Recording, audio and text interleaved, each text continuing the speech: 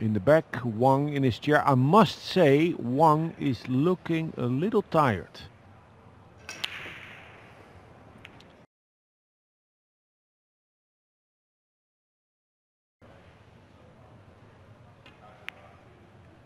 The thing is, these guys have played so much That's a beautiful shot. better. He'll come in straight on the four He's going to miss the five. Big ball. if he doesn't hit the five. Shot.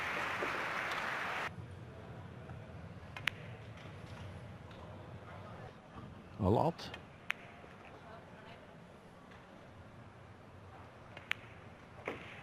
On one day.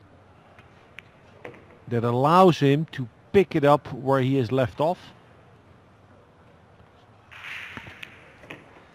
Oh, he hasn't really touched the table yet. He's only had a break, hasn't he?